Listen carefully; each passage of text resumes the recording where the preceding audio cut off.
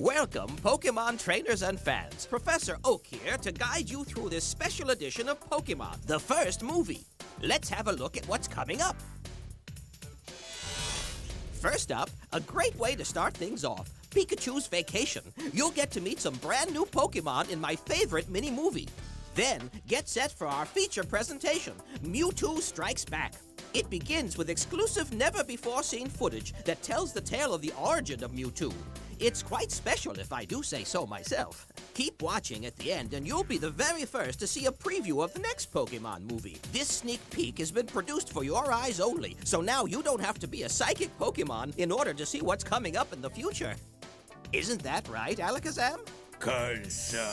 Ah, that's my cue to say, let's get on with the show!